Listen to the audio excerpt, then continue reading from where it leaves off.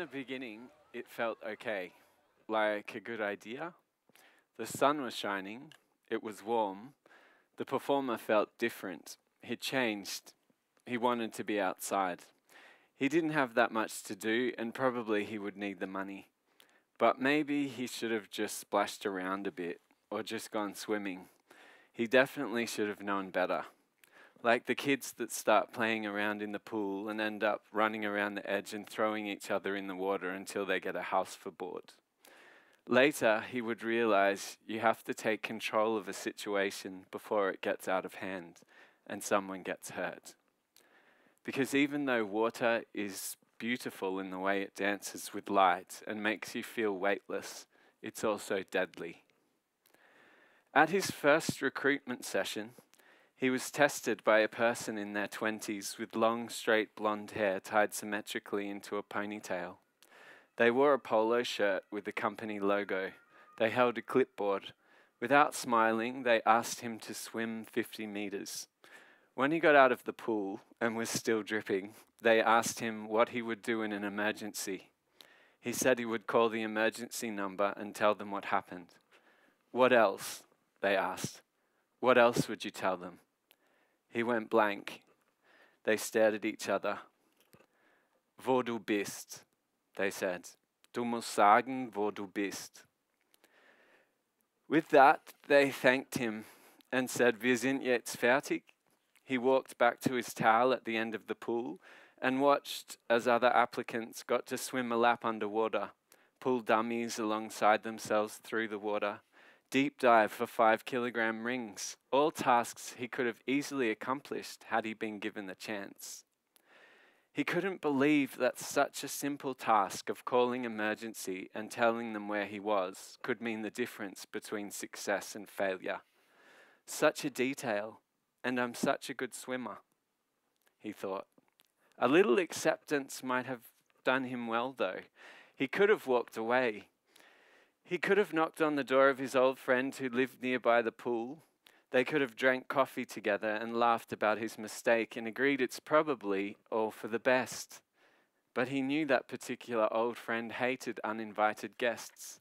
So he stayed at the pool and decided to ask for feedback. Whenever you fail at an application, his mother had taught him, you have to ask for feedback, no matter how painful. So he walked up to the person who seemed to be in charge of the process. He said, Ich weiß nicht wegen mein Deutsch, ob ich gut verstanden habe, aber wahrscheinlich war ich unerfolgreich, oder? They said his German seemed fine, but that you had to know what to say when you called emergency if you want to be a lifeguard. Aber wenn Sie nochmal versuchen wollen, können Sie nächste Woche wiederkommen. So he did. It was at a different pool the second time, and in a different corner of the city. At first, he didn't register at the little table with the sign declaring we're hiring, but instead sat at the top of the tribuna next to the pool and watched as young athletic bodies gathered in a group, each holding a little card. He looked at their bodies and wondered what he was doing there. He was not intimidated by their swimming, but by their shiny, muscular youth. These are not my people, he thought. These are the people I went to school with. I had nothing in common with them and wanted to get as far away from them as possible. So why am I here with them, standing again by the side of a pool? He almost didn't go down the stairs, but then he reasoned with himself this is not about you. You are not the subject. It's not your story. You just have to find out how it goes in order to tell it. So stop thinking it's all about you and get to work. No one here knows who you are. You don't exist. You're a lie. So play along. Think of it as a role. And so he forgot himself, buried his doubts in a shallow grave, and went down to collect his card. In the next group, beside him was an elderly man who swam very slowly, and some other swimmers, some even in their 30s. When the time came, they were asked to swim 50 meters. Aber ohne Schwimmbrille, added the red-haired person now holding their cards. At the end of the pool, they were met by a dark haired person with an accent. They smiled and laughed and spoke loudly. He relaxed. Next, they had to each jump from three meters. He waited at the base of the tower until it was his turn to climb up. From where he stood, though, he couldn't see from which level the others had already jumped.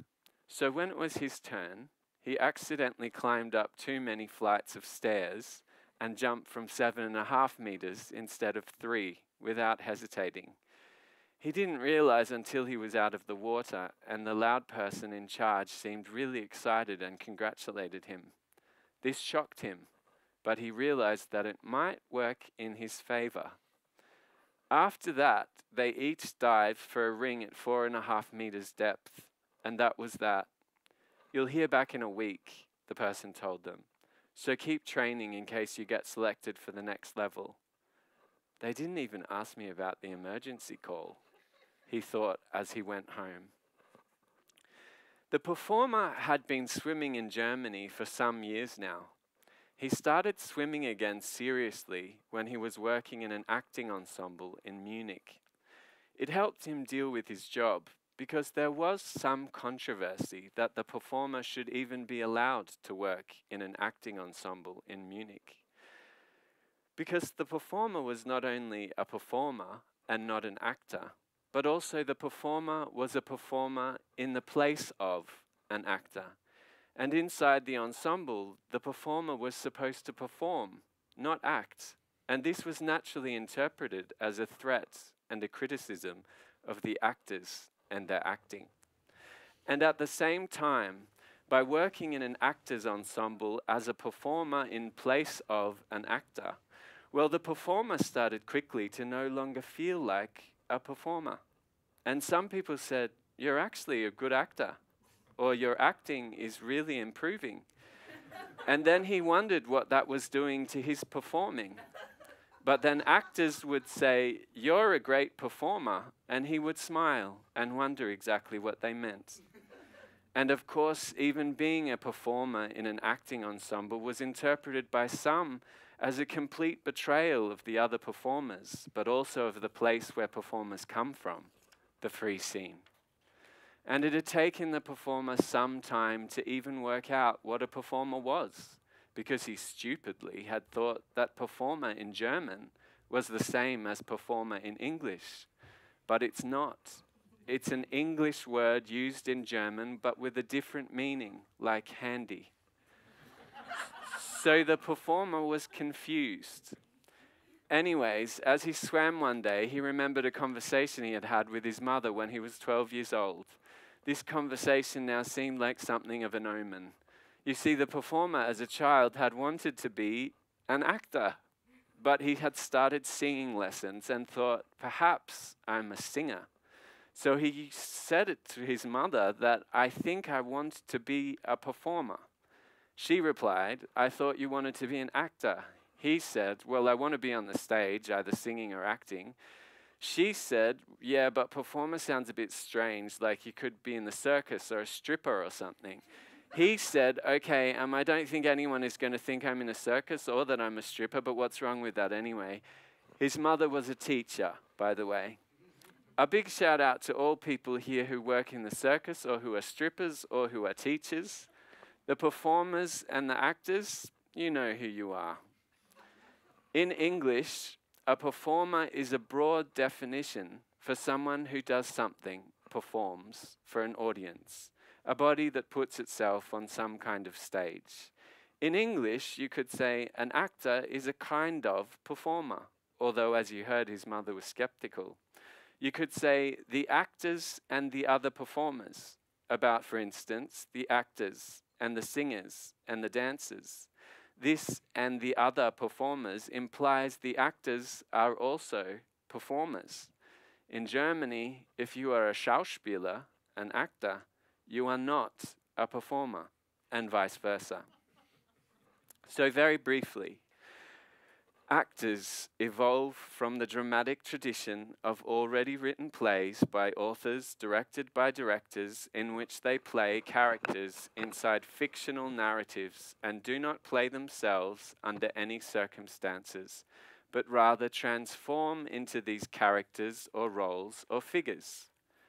Whereas performers come out of what in Germany is called the post dramatic tradition of performers making their own work, inventing their own forms, text, structures, collaborations, often with the real non fictional world in which, for political and aesthetic reasons, they go on stage as themselves.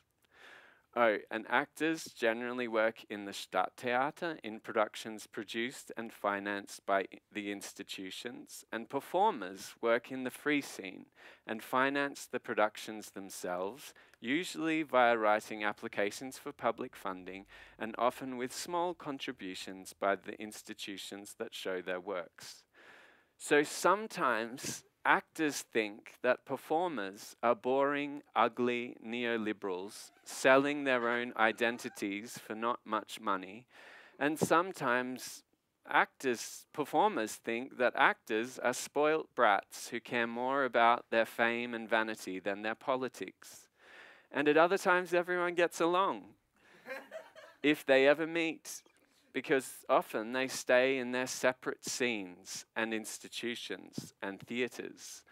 But at this time, the performer was involved in an experiment in which the free scene and the Stadttheater could coexist together, and it would turn out to be both a wonderful success and a complete failure.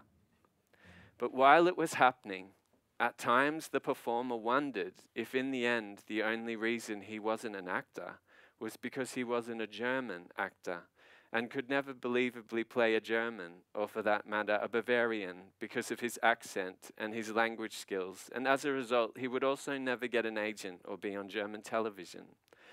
But he felt he had betrayed other performers by agreeing only to perform in other people's work in the Stadttheater.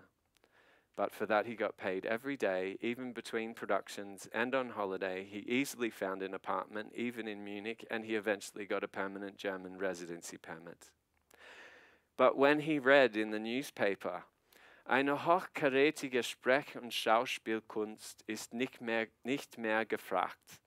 Das interdisziplinäre partizipative posttraumatische Diskurs- und Performance-Theater dass der Intendant nun mit schier ideologischer Vehemenz etabliert, will nicht den Schauspielvirtuosen, sondern den Performer. Nicht eine Rolle, sondern sich selbst soll er verkörpern, soll Repräsentant sein eines, eigenes Lebensgefühl 4.0.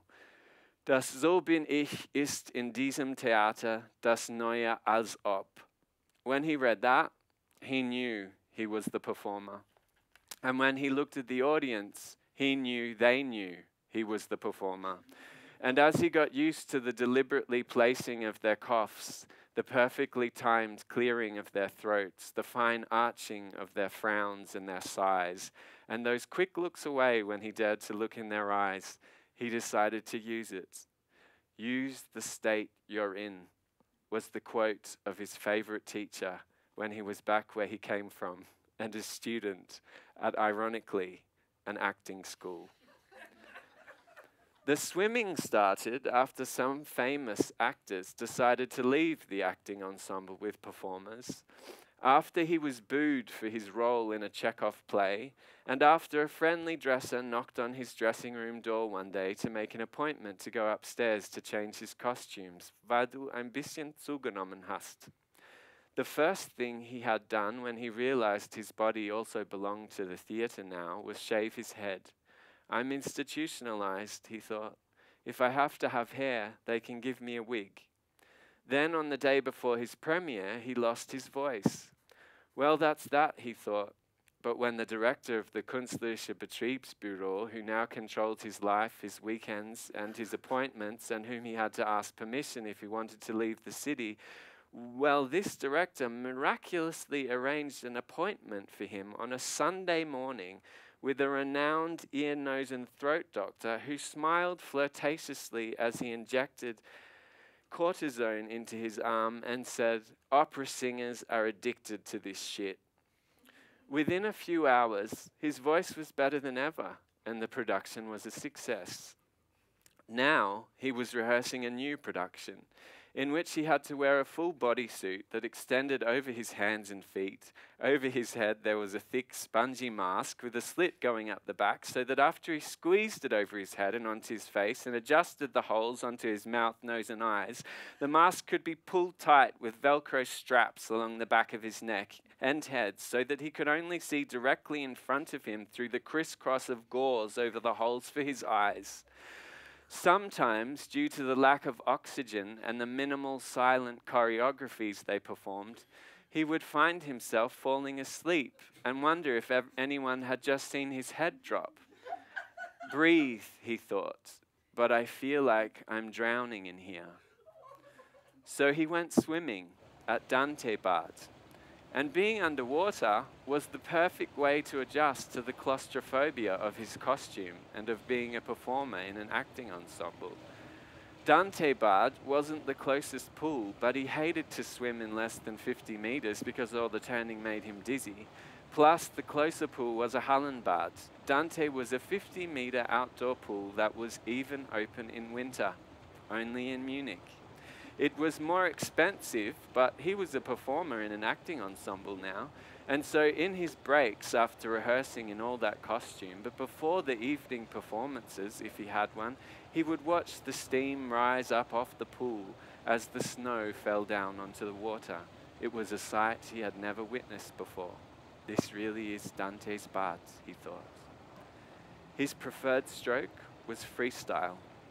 He didn't like breaststroke because of how it made his knees feel, and he didn't like the sound of going in and out of the water. Backstroke was disorientating, butterfly way too dominant and completely exhausting. No, he liked freestyle. He liked to be face down in the water, looking at the bottom or watching the swimmers around him, listening to the water go past, stretching one arm out in front and then the other, breathing every third stroke on alternating sides, gliding towards the wall and leaving his arms by his side as he flipped over his legs and pushed off again. Deep stretch, kick, lap after lap after lap. With his head underwater in an outdoor pool, he felt he could be anywhere. He could even forget he was a performer. And swimming outside in a pool, once he forgot he was on the wrong side of the lane, he was back where he came from. But he was often jolted back and not just because of the snow. He could never understand why in a 50 meter swimming pool there were only about two or three lanes that had ropes. He would slowly have to come to terms with this new division sport swimmers and other people swimming. The sport swimmers were confined to a few lanes. The other people swimming usually about the same number, were all spread out over the rest of the pool, with no lanes, mostly doing breaststroke and changing directions.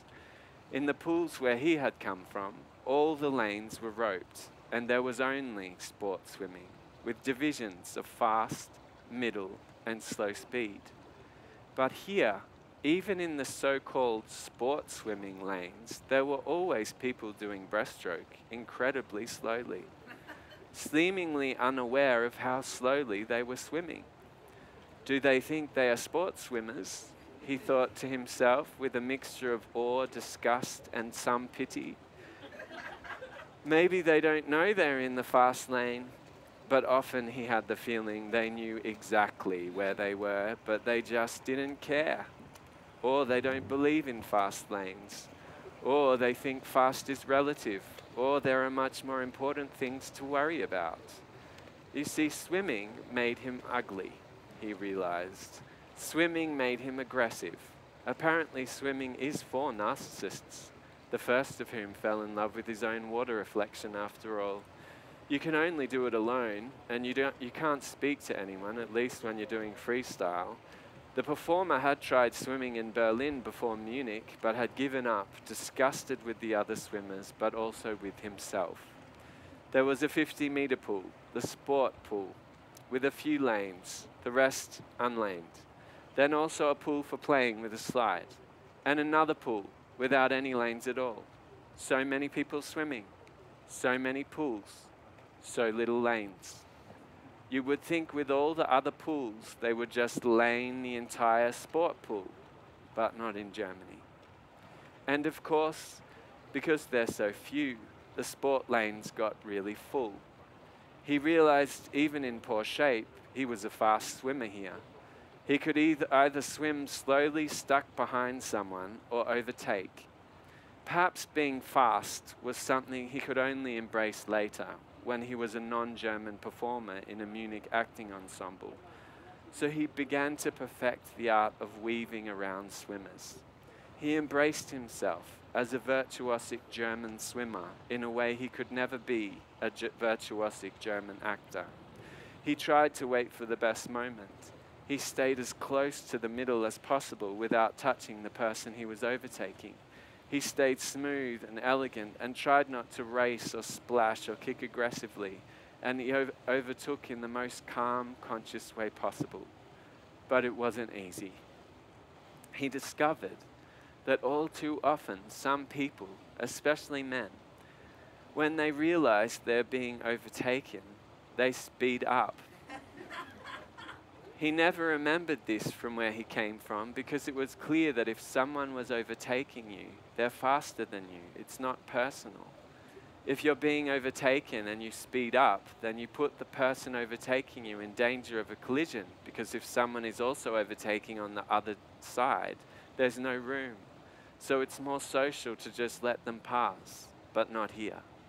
So he learnt if someone was overtaking on the other side, he had to dive down swim under the oncoming swimmer, and continue overtaking.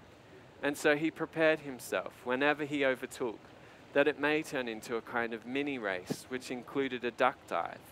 And sometimes this would go on for half a lap, but in the end, the other swimmer would get tired because they're suddenly going much faster and they get exhausted. The first thing he learnt when he started swimming was don't race with anyone else but yourself I guess that is kind of neoliberal, he thought. One day in Berlin, when the lanes were quite full, including someone doing breaststroke really slowly, someone seemingly unaware that they were swimming in the middle of the lane, making overtaking an almost impossible, or only if you go on the outside of them, then placing them in danger of collision, and a group of three swimmers who stopped and talked at the end of each lap, spread out across the wall. If you share a lane with other people who are doing laps, which of course includes turns, well, where he came from, if you block the wall from others who are turning, it's a no-go.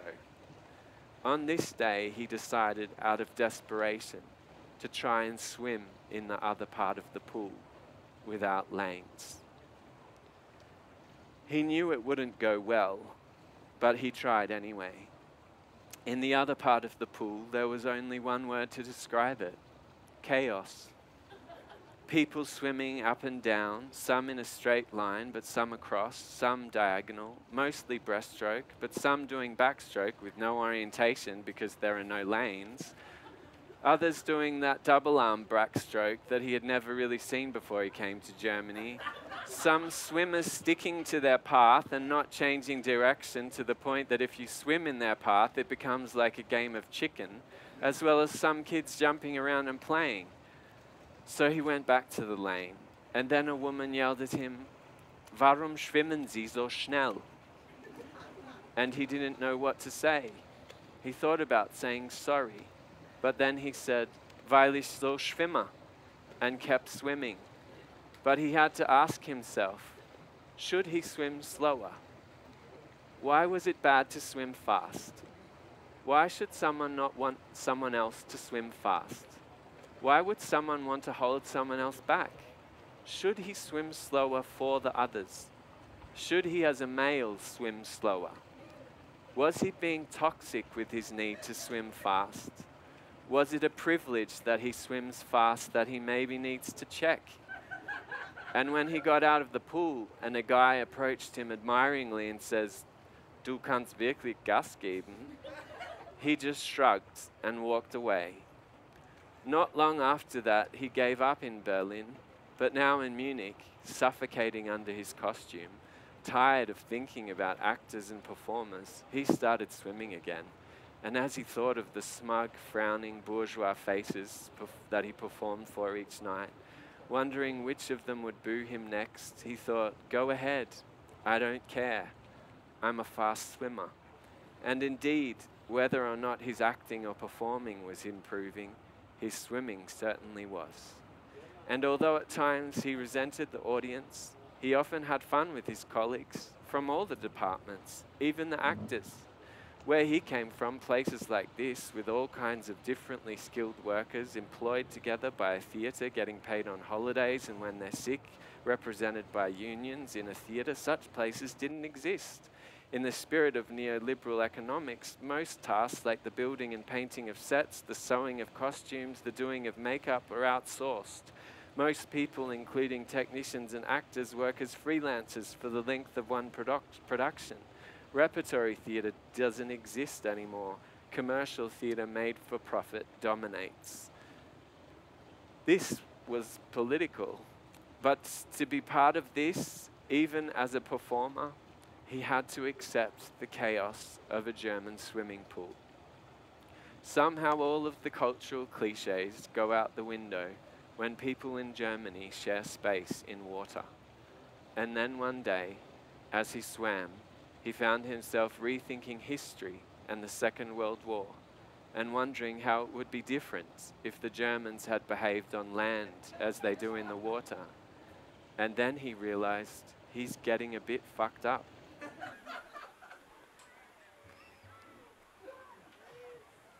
So, um, hier sind ein, ein, ein kleiner Wörterbuch. Um, these are some words that you have to learn if you want to become a lifeguard. You have to do a little theory test.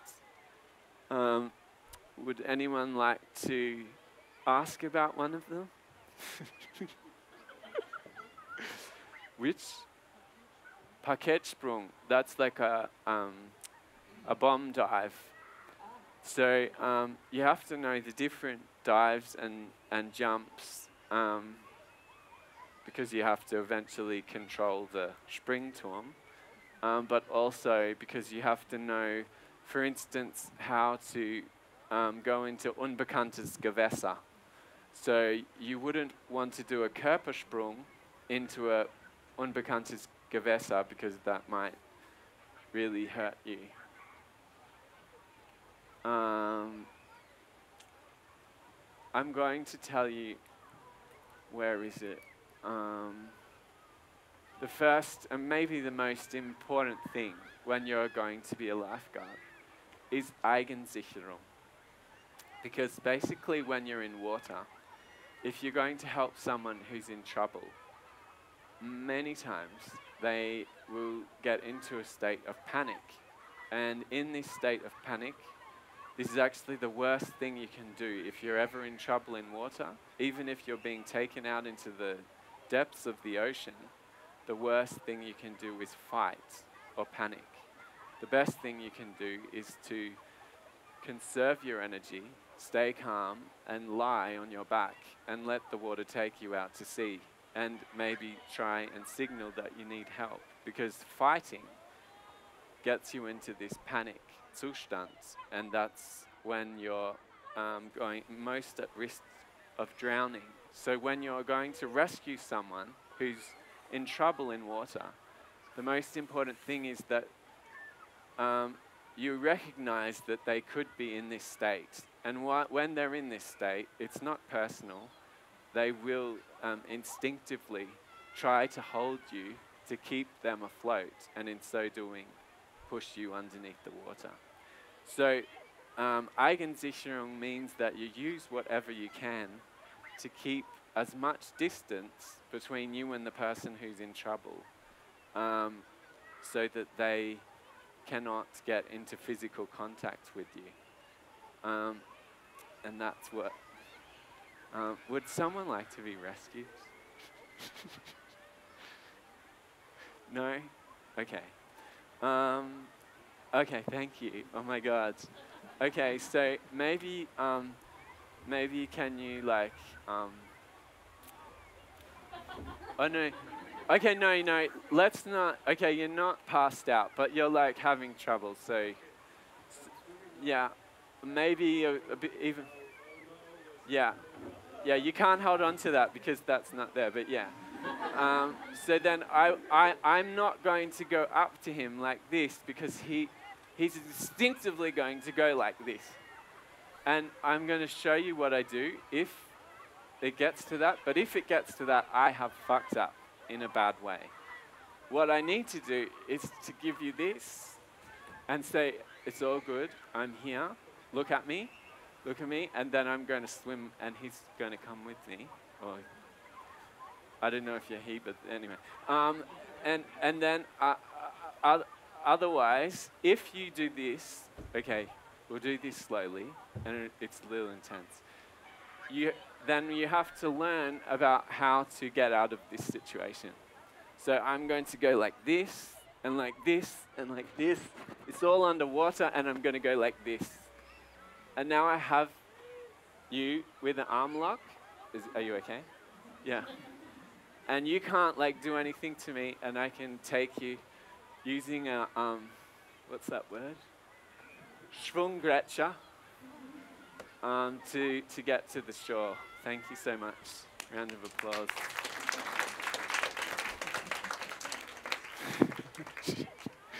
that is called a Fesselschleppgriff.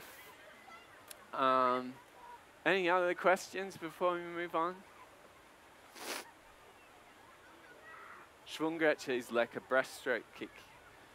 And that's what you have to learn how to do. Um, if you rescue someone, you can't swim using your arms because you might be holding on to someone. The only thing you can do is use a breaststroke kick because they might be here on top of you. Schwunggrätsche. Handballen, that's what you use when you're giving someone um, a heart massage or doing um, a resuscitation. We can do that as well now if you want, but Oh, you do want? yeah, very good. You ha- I would have to take off your shirt. No, it's okay. We don't have to. Um, and um, but yeah, that's all part of the next thing, which is the ultimate performance of a lifeguard. This is a performance they give for the DLRG, the Deutsche Lebensrettungsgesellschaft, and these are all the the scenes of their performance. Um, they have to swim with the different strokes. Then they have to swim in clothes, which I never really understand because, I mean, if you're going to swim 300 meters in clothes, it would be quicker to take the few seconds it takes to take off your clothes and then swim the 300 meters. Nonetheless, you have to do it. And then at the end, you have to take off the clothes in the water and throw them onto the edge. Um, there's a there's a jump from three meters. Probably the most feared is the 25 meter Streckentauchen because you have to swim underwater for 25 meters. Your legs can't touch the surface. Has to be all underwater.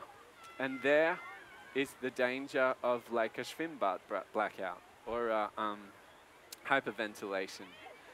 So if you are swimming underwater or diving and you start to hyperventilate or panic, then you can pass out. Um, uh, then you have three times deep diving, which turned out to be my least favorite activity. Um, you have 50 meter transport swim, like where you're swimming with someone or moving them. Um, doing the different choreographies that help you get out of a situation where someone is like trapping you, sorry. Um, then Schleppen with Kleidung. Also the Kleidung, when you do it in the test, it's already wet. You have to put it on, it's disgusting.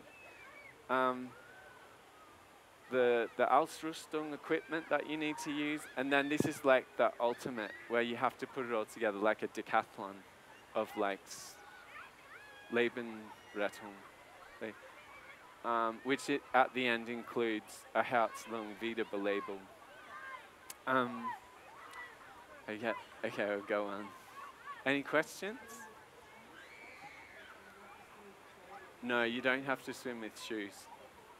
Which I'm sure, I don't know why they let you not swim with shoes, because if you can't take off your clothes, then why you would have to take off, yeah, anyway.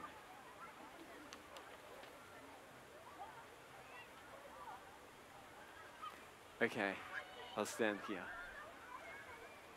When he got there on time at 8 a.m., the sun was shining, it was already hot. He had to take off all his jewelry, and a big berry guy in the change room helped him with his second earring when it got stuck. they all, 22 of them, stood around in their swimmers, got split into groups. One of his first thoughts was, it's somehow cute to watch presumably straight sporty guys slapping each other practicing all those Befreiungsgriffe choreographies by the side of the pool in your swimmers could have been a bit awkward, but no one said anything. There's no way I could have stood around like this with all these men in swimmers when I was younger. It would have been like a nightmare, he thought. Some people had accents, most people were German, most were white, most were male, probably most were straight or all. Everyone could swim, they all seemed cis. The second week, almost half didn't turn up, and only males were left. The most dramatic test was the 25 metre underwater swim. People from weeks before came back for another turn. Everyone who turned up passed the test in the end. He realized nothing could ever prepare him for the moment when he actually might have to rescue someone. But the most important thing to remember when saving someone else was to protect yourself.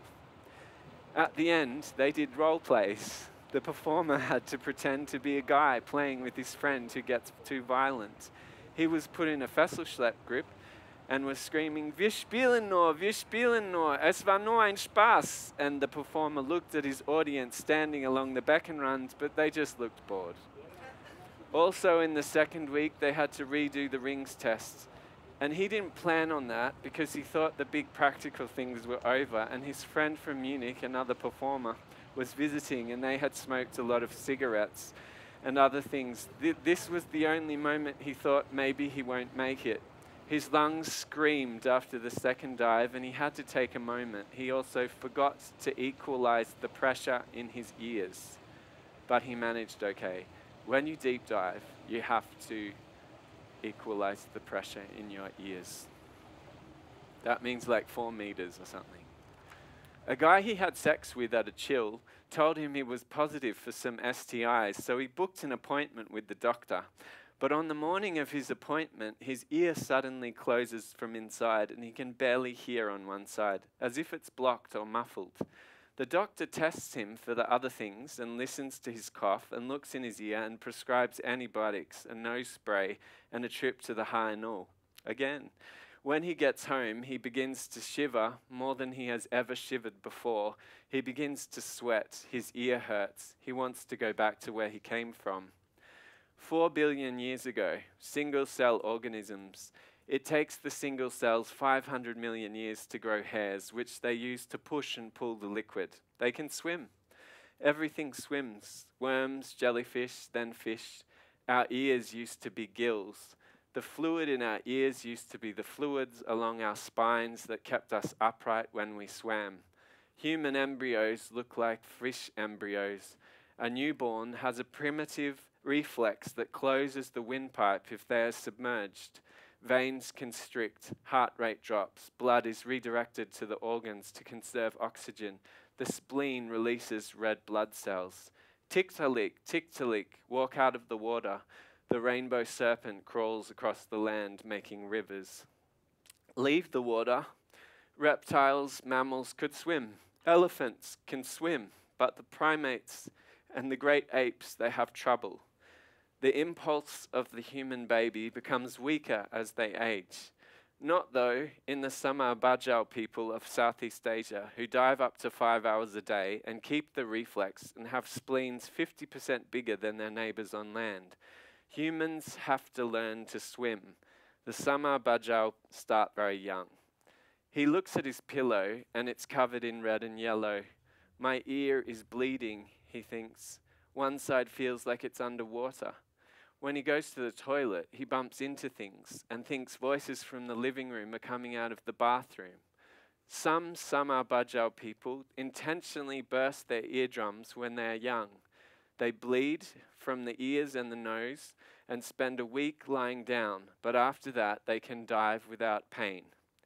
If you wanna know if he swam so, it's in his ears. That's where it is. He reads it in a book that most likely the Neanderthals in Italy swam. They look at remains from 100,000 years ago and think they were diving three or four meters down into the bottom of the bay. The reason they know that the Neanderthals could swim is because it's in their ears. That's where it is, in the remains of their ears. They got swimmers' ears. Bonnie Tsui writes in Why We Swim of a study by Hirofumi Tanaka on the legendary female freedivers of Japan and Korea, known as Ama, who have been diving for shellfish for 2,000 years. They start at 13 or 14 years old and at the age of 65, their vascular function is sky high compared to other 65 year olds, with significantly lower heart rates, less arterial stiffness, but they suffer from much greater hearing loss. He doesn't like going outside, so he stays in bed reading The Swimmers by Julie Otsuka, Swimming Studies by Leanne Shapton, Turning by Jessica J. Lee, Small Bodies of Water by Nina Mingya Powles, Swimming in the Dark by Thomas Jedrowski, 22 Bahnen by Carolina Wahl, The Chronology of Water by Lidia Yuknavitch. When he goes to the ear, nose, and throat doctor, they test his hearing in a small room. When he hears a peep, he has to press a button. The doctor doesn't smile but looks him in the eye. There is some hearing loss on your left side, he says.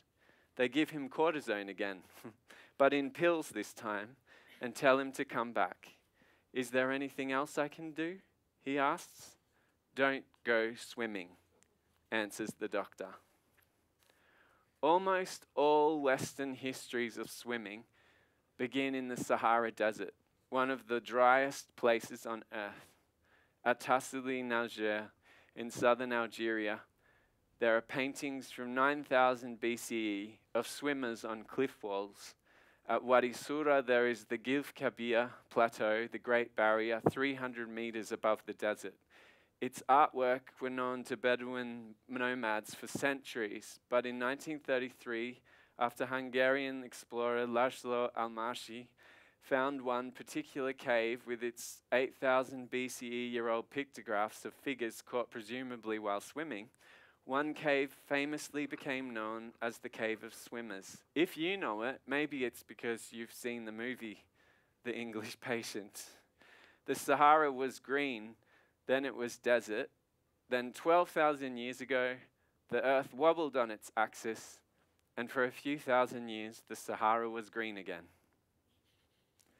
The performer still couldn't hear so well when he got the call so he had to put the phone to his right ear and agreed to come in and sign the contract. He would start at 6 a.m. on the weekend, but there would only be a kids' pool open. Not so deep, so he thought he might not have to go swimming too much. If I need to rescue someone, though, I'll be ready, no matter what it does to my ears. He rose at 4:30 a.m.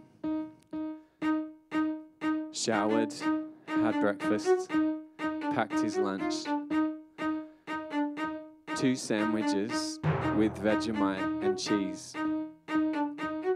Then he went down with his bag, got his bike, and rode to the nearest U-Bahn station. Travelled, got back on his bike, and rode up the hill at dawn towards the pool. He was the first one there, or so he thought.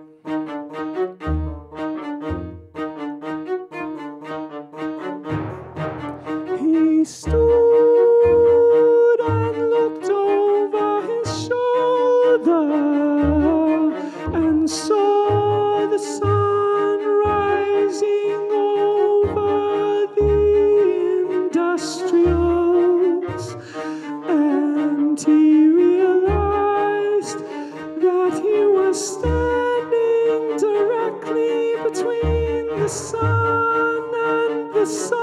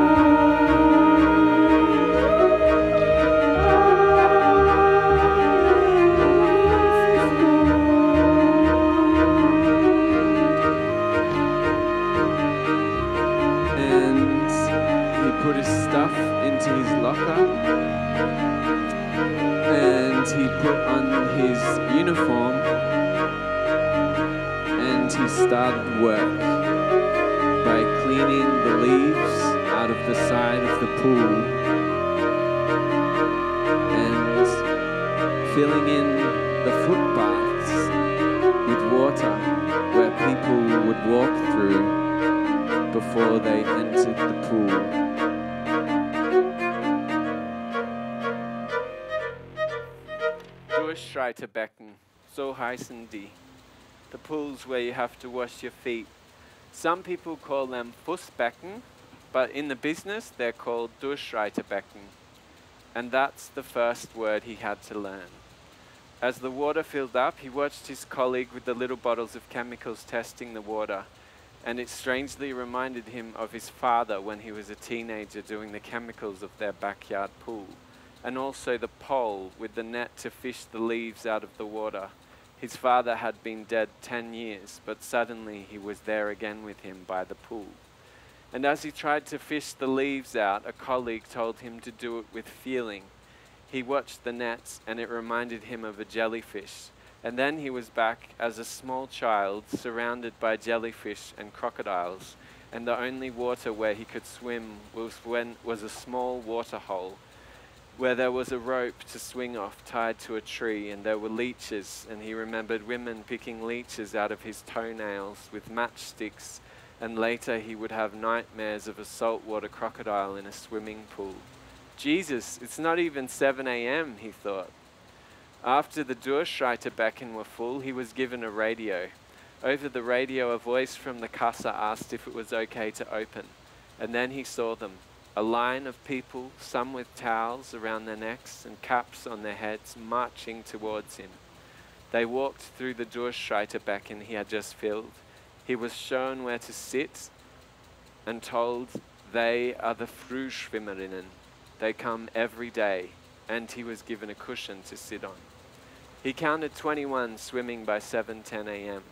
They were mostly well over 60. Some of them seemed happy, one of them ecstatic. Someone asked the temperature. Someone dipped their toe in the water and looked up at the performer disapprovingly. He realized if it was cold, it was kind of his fault now. They seemed to love to swim. Maybe they are so calm because they don't have to work, he thought. He would come to recognize them, their faces, their strokes, their moods, or if they wore a different bathing suit. Mostly they swam breaststroke with their heads out of the water and kept their hair dry. Some of them would have little conversations as they went past each other. On one side there was a 25 meter pool, but only two lanes were roped. The rest was free. I wonder if I will ever be that old, the performer asked himself. Within the first hour, some Sportschwimmerinnen usually came and did freestyle. They were a bit younger and much less happy. But by 8 a.m., most of the Frühschwimmerinnen were gone. As quickly as they arrived, they disappeared, and sometimes he wondered if they had ever been there at all.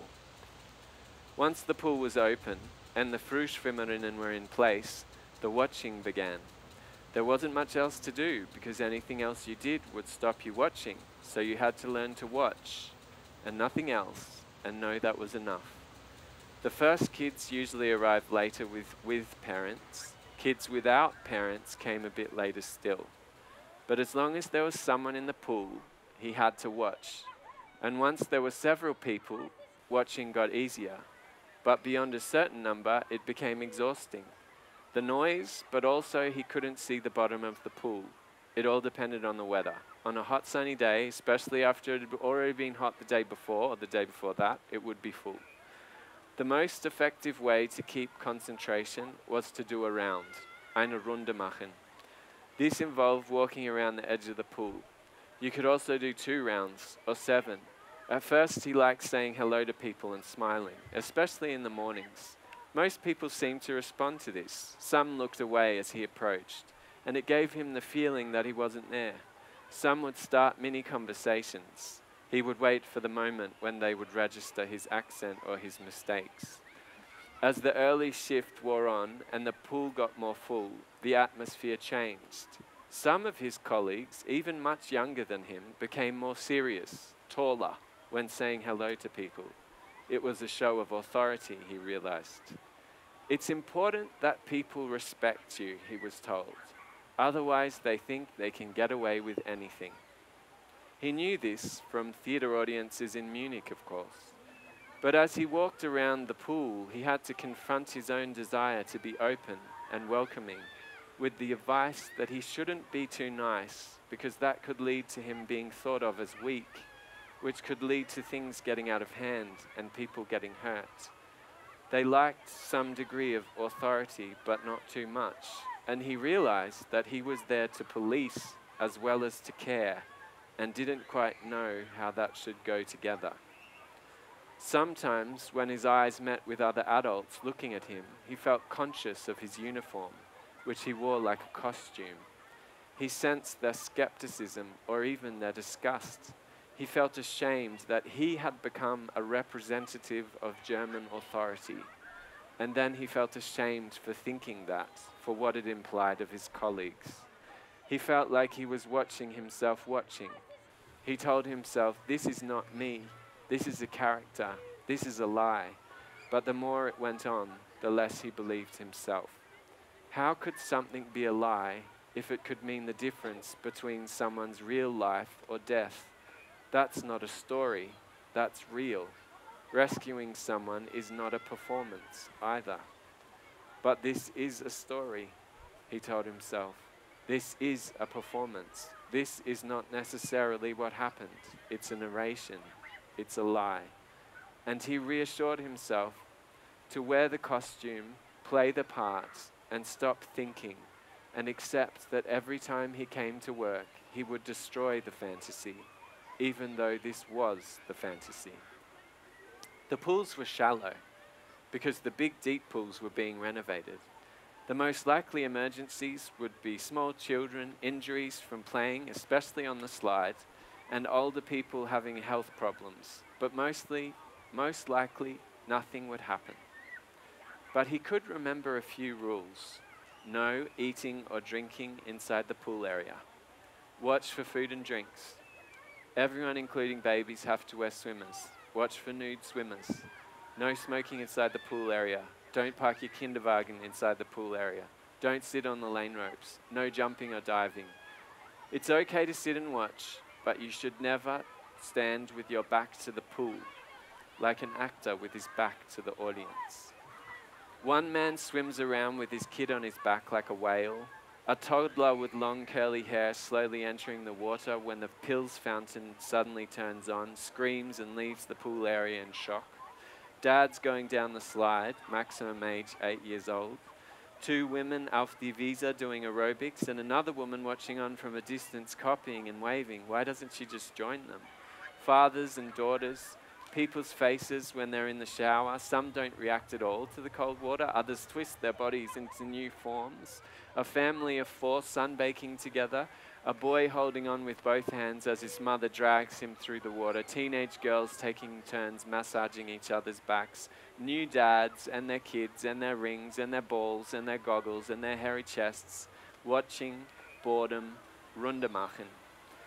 When there are boys sitting on the ropes, by the time he gets there to tell them, they're gone, and there are girls sitting on the ropes instead. So he calls them over, and they look at him blankly, and he tells them not to sit on the ropes, and they say sorry, and he feels more comfortable disciplining boys than girls. He wants girls to break the rules and boys to obey them. But the final sentence he has to learn is if someone refused to do what he asked, he could say, auf die Visa. He then extended this to also having a warning sentence. Wenn du so weitermachst, dann schicke ich dir auf die Visa. He also noticed at first he said, Entschuldigung, aber eigentlich darf man hier nicht essen. But the more he worked, or the later it was in the shift, he just shook his head, looked at the person who was eating, and said, Essen verboten. So he watched and watched and watched, and mostly he said hello, and sometimes he did not. After a few days, he realized that he only felt real at the pool. He liked himself as a novice lifeguard, and he started to not like himself as a performer. But of course, he couldn't be one without the other. When he left the pool, he was confronted by his stories and his lies. His ear was still not better, but a second hearing test had shown improvement. But the shift work, changing from early shifts to late shifts to early shifts, could be as exhausting as the theatre work. And he was actually working two jobs. He was a lifeguard and he was making a performance. Or he was an actor living the role of a lifeguard. Or he was a lifeguard and a, a performer being an actor preparing for a role that didn't exist inside a performance. The more he thought about it, the more confused he became and he just wanted to be a lifeguard and not anything else. And he didn't know what to tell his colleagues because he didn't know what he was doing himself. So he told himself that he didn't have to tell them, but if he kept them out of the story, or he didn't have to tell them until he knew what he was going to say, or he didn't have to tell them because why should they care about a performance he would do in a little room for some people? He wondered if he had to keep it for himself in order to find out what it was, to keep the story pure. He couldn't be anything else at work than the lifeguard. But he imagined if people found out, ideas of narcissistic artists would be reinforced. Artists that watch and extract and then use for their own stories and profits and acclaim. Same old story. But he was actually working at the pool. He was actually doing his job. He was earning money for the tasks he did separately to making the performance in his own time. Did he also have to be honest about what he did outside? Maybe he wasn't working at the pool for the performance. Maybe he was doing the performance in order to work at the pool.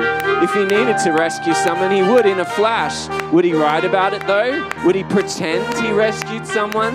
He wanted to experience the role of the lifeguard as a lifeguard, but he couldn't shake the feeling that he was just pretending, and then it became clear to him The reason he couldn't tell his colleagues was because not telling them was part of the story, and he needed to stay inside the story like an actor staying inside the character.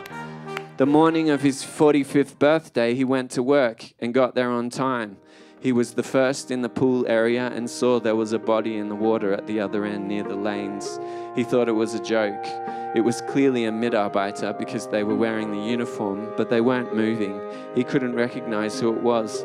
It seemed like a male, but they had long hair. He called out, Alles gut?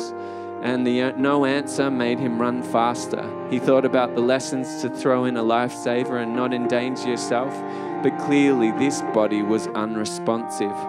It just floated. And as he got closer, he looked at the Nikes the body was wearing and was surprised to realize he was thinking, I really like his shoes. As he jumped in, he didn't have a radio yet because the pool wasn't open. He was alone and he pulled the body to himself and turned it over to realize the hair was just a wig. And as it came off the body's bald head, the performer realized he was looking into his own face, but his lips were blue and his eyes were staring off into the distance, and he could only think, who is rescuing who here?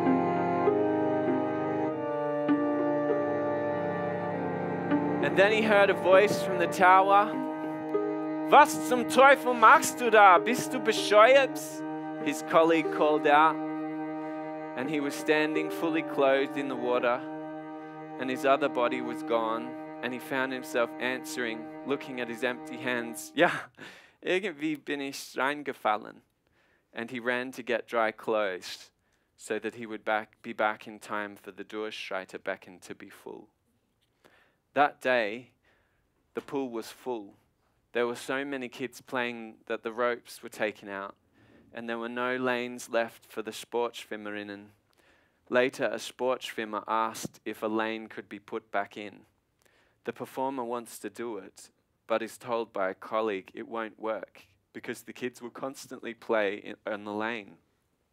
He remembers thinking, if I worked at a pool, then I would make sure that the Sportschwimmerinnen could do their laps. And so he puts the lane back in. But sure enough, the kids constantly play on the rope and play in the lane. The territory cannot be claimed back. The performer tells kids to stay out of the lane for a while, but then gives up. The Sportschwimmer complains, and the performer finds himself answering as his colleague had told him to do in the first place.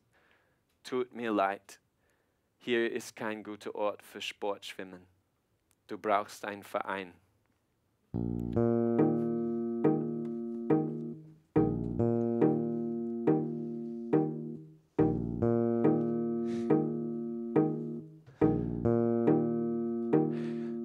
Sun is out today and everyone is feeling gay. The Kassenschlange is full and soon you'll all be in the pool. we won't let you go home early, not till you've taken off dry clothes and slipped inside of the wet. All bodies welcome here, then you'll be set to face the world on dry land again. Becken and the sprung Sprungbecken are reopened. The 50 meter pool is full. There are three lanes for Sportschwimmerinnen, and he watches them. But even more, he watches the Sprungbecken. He's told that here you don't say auf die Wiese, here you say Hausverbot. Children and adults ask him, plead with him to open the tower. Kannst du bitte die Dreier aufmachen? Meister, Meister, wann machst du die Zehner auf? Entschuldigung, Herr Bademeister, aber wann wird der Fünfe aufgemacht? Ich bin kein Bademeister, ich bin nur Rettungsschwimmer. When the performer is on the tower, he stands at the platform and makes sure only one person dives at a time when the jumper below has swum away. He gives pep talks to the nervous ones who find themselves unable to make the last step or leap into the air. Don't look down, look straight ahead, keep your arms by your sides. The water will stop your fall. It's all in your head. And then he counts down from five. Du schaffst das. Sometimes this is enough. Sometimes the people below start screaming in encouragement. Sometimes they scream out in frustration that the jumper is holding up the line. Sometimes they jump. Sometimes they turn back. It happens to young kids, but also to adults. There's nothing wrong with turning back when realizing you are not ready, the performer thinks to himself. But sometimes he wonders if it's true. One hot afternoon, the performer is at the three meter platform one day, and there's maybe like 40 people in the queue. He's tired of the questions about einer, dreier, fünfer, ich weiß nicht. He answers, bald, gleich, 15 Minuten, halbe Stunde. Keine Ahnung. A big muscular guy with a beard and tattoos is standing on the three meter platform but not coming forward to jump. The performer notices him and tells him to jump. To jump the three meter or go back down the ladder. And suddenly, the man climbs over the closed sign up to the five meter level. The performer screams, Mach das nicht, mach das nicht, wenn du springst, kriegst du Hausverbot. And the man climbs up to the 10 meter and jumps. Another teenager immediately follows. And the performer screams after him again, Mach das nicht, mach das nicht, wenn du springst, kriegst du Hausverbot. And he jumps. The radio goes crazy. Warum springen die vom Zehner? The performer tells the colleagues on the other side he told them not to jump. The lifeguards call security. The performer closes the Springturm and runs down the ladder. The jumpers are escorted out of the pool. He yells at the queue of jumpers. Der Springturm ist jetzt zu, weil Leute ohne Erlaubnis gesprungen sind. Later, the performer realizes that watching that scene, he would probably have cheered on the heroes jumping against the rules and thought the lifeguard was an idiot. Later, a colleague tells him, Du hast so, so, so toll heute gearbeitet, die ganze Tag, und du machst es immer wirklich gut. Aber es gibt ein Problem. Du bist einfach zu nett und die Leute wissen das. That night, the performer realizes that he's not going to rescue anyone. There are hot days, then it's cooler again, and then there are more hot days, and then it comes time for the performance. And it goes well enough.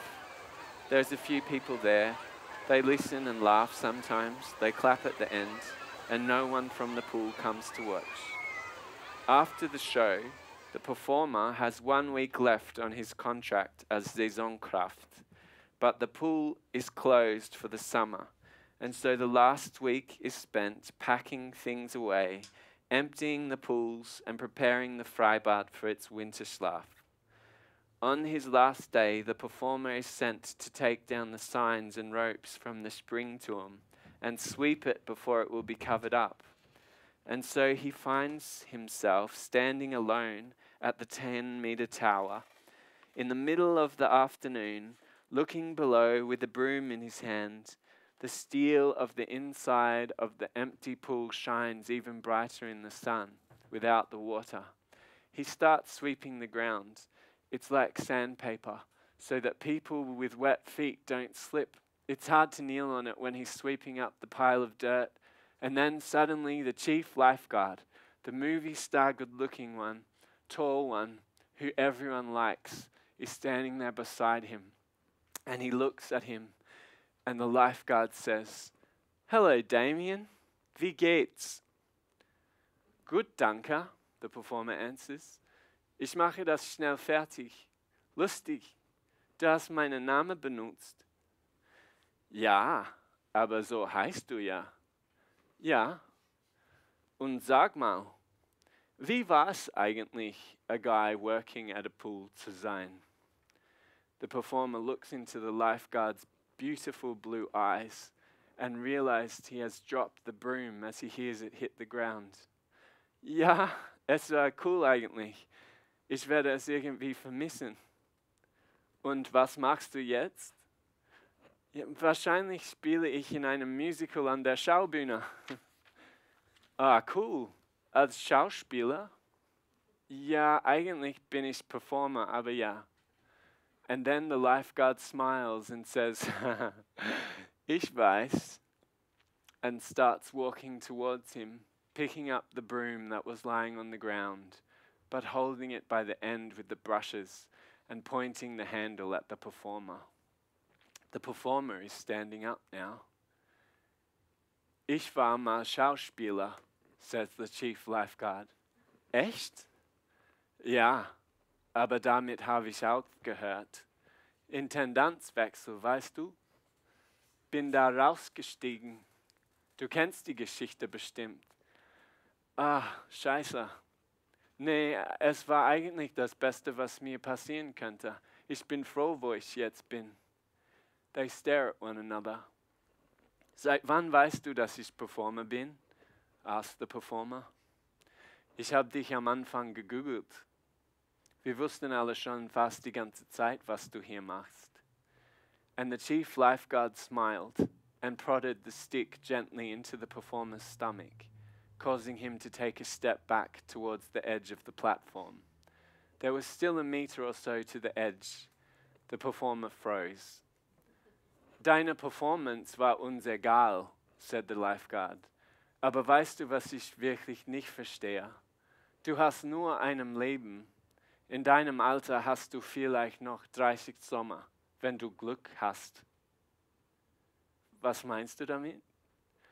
Ja, warum verbrauchst du deine ganze Sommer mit zwei Jobs? And now the smile was gone, and he prodded the performer again. It seemed like a good idea at the time. He answered, looking back behind him at the edge, getting closer. Wahrscheinlich, weil du keine Ahnung hast, wie zu leben. Mann, du arbeitest die ganze Zeit. The performer was starting to panic, sweat dripping from underneath his cap. I guess, answered the performer. Du wolltest immer von Zehner springen, oder? Ja, aber das Becken ist leer. Ich will nicht sterben, the performer said, half smiling. Bist du dir sicher? Das wird eine tolle Geschichte sein. Was meinst du damit? Ja, das wird bestimmt gut für deine Performance. Aber der Performance ist schon vorbei. Bitte kann ich runtergehen? Aber jemand wie du, solange du lebst, wird der Performance immer weitergehen. The performer laughed awkwardly. Aber ich will, dass es aufhört, bitte. Wir haben dich nicht gefragt, hier zu kommen. Du hast das selbst gewählt. Fuck you. Du kannst einfach keinen Spaß haben, oder? But I have sex with men. Und das soll reichen. And with that, the chief lifeguard laughed and pushed the performer one last time. And the performer gasped as he went over the edge and wondered how best to fall. Not with his feet first, arms by his sides, surely but as he tried to move his body around in the air, he watched the level where the water would have been if the pool was full go past and knew it wouldn't matter how he landed. And for the last four and a half meters, he could only imagine the deep blue, cool water that wasn't there swallowing him.